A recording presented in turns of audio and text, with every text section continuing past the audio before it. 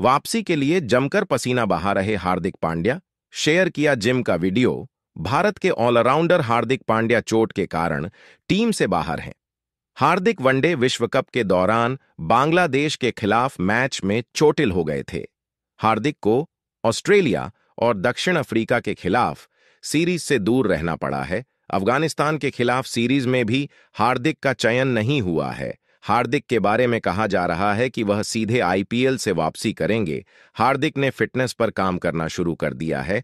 हार्दिक ने social media पर एक वीडियो शेयर किया है, जिसमें वह जिम में पसीना बहाते नज़र आ रहे हैं।